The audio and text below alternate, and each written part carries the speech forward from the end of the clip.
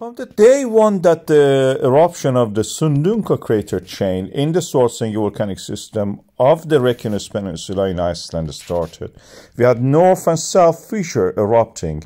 The south fissure is the main one, and a cave was formed with the crater which I've called Biggie beside it adjacent to it. The geometry of them was like this. So from the Biggie or main vent, everything was piling up on the cave vent, forming like something like a apse of a church, kind of half a dome. And I named them and uh, no, uh, numbered them. The cave was the third uh, of these uh, vents.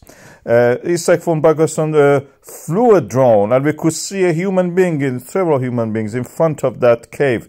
With that help, we actually were able to measure the uh, the height of this. 17 meter was my, my estimate to the last uh, day and 63 meter for the biggie or the main vent in that uh, two crater system. It has now vanished. It is uh, it's practically disappeared. The vent is not erupting in that one. We had an earthquake and i can show you on that. And these were those yellow ones in the sunday between the midnight to six o'clock and you can see on the map also. This probably closed that vent, and uh, we have also evidence for in the Svartsengi GPS data that the magma is actually accumulating and the land is rising again.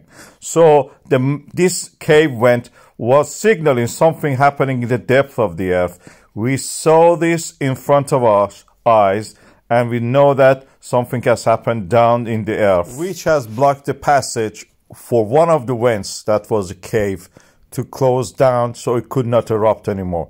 The other vents are erupting at the moment, but the flow of the magma from the cave has stopped.